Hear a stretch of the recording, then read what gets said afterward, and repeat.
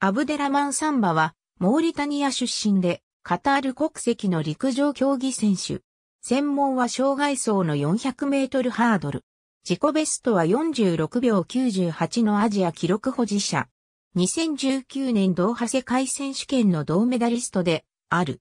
2015年5月6日からカタールに移り住み、2015年10月1日にカタールの市民権を取得。2016年5月6日からカタール代表として競技することが可能になった。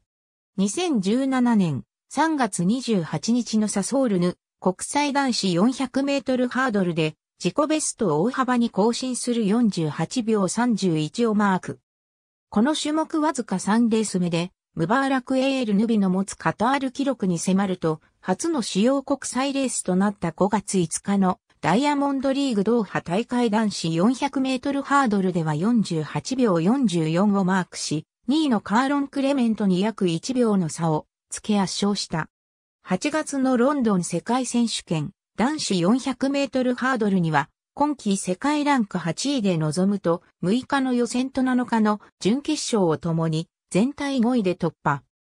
雨の降る中で行われた9日の決勝ではカタールの帽子をかぶって臨むと、10代目のハードルを超えた時点で3位につけ、メダルを争いを繰り広げていたが、その直後にバランスを崩し、メダル争いから脱落。初の世界選手権は49秒74の7位に終わった。2018年4月19日の競技大会男子 400N ハードルで自己ベストを大幅に更新する47秒90のカタール新記録を樹立。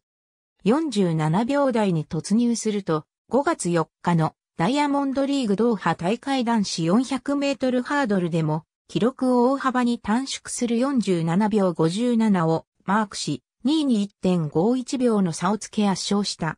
6月30日には、世界歴代2位にあたる46秒98をマークする。46秒台は1992年のケビン・ヤング以来の記録である。ありがとうございます。